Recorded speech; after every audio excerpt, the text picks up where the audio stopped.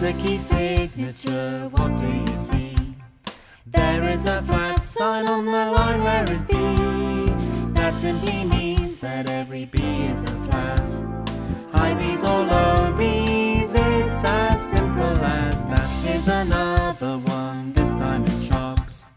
F, C, O, G sharp, so you'll have to be smart. And every time you see an F, C, O, G, you gotta play sharps or you'll be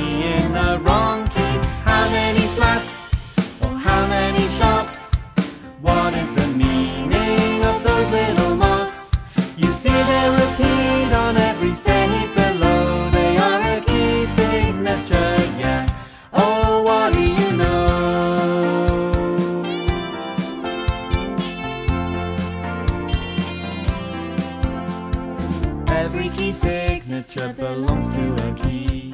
A note that is home called the tonality. Just play a scale, all the notes in a row. And you will soon hear where the scale wants to go.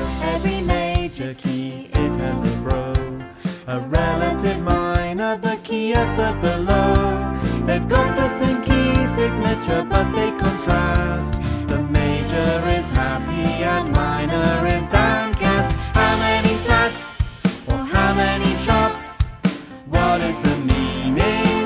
Little marks?